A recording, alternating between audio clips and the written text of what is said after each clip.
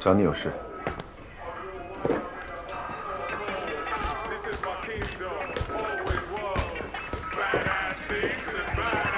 边读书边听音乐，怎么培养专注力啊？顾教员说的有道理。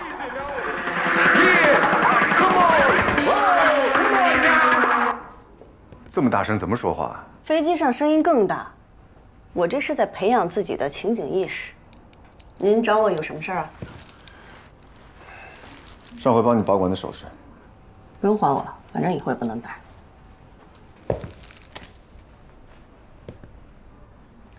把被子叠好。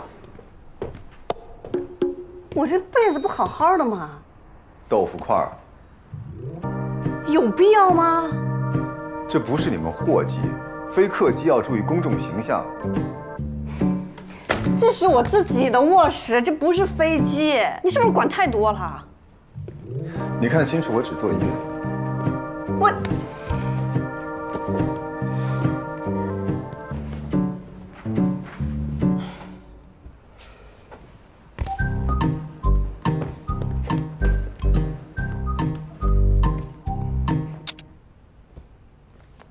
你干什么？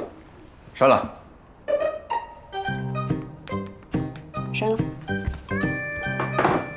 我不想重复啊。着？侵犯我隐私吗？你还知道个人隐私啊？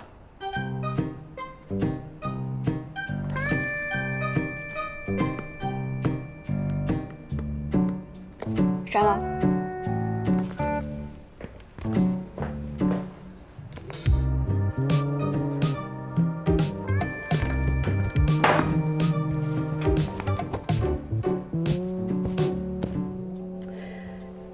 顾教员，你这就是彻头彻尾的形式主义啊！我实在是不明白，这个叠个被子跟我开飞机有什么关系？在空中任何一个细节，都有可能会成为触发危险的导火索。只有将严谨两个字贯彻进生活的方方面面，才能更好的保证飞行工作。你每天活得这么严谨，这么不自由，你有意思吗？真正的自由，是用自律换取的。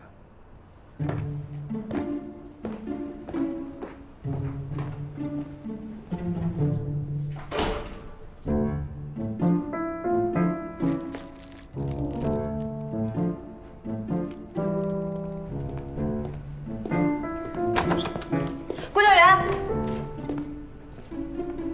我准备就寝，请问现在可以打开被子吗？批准。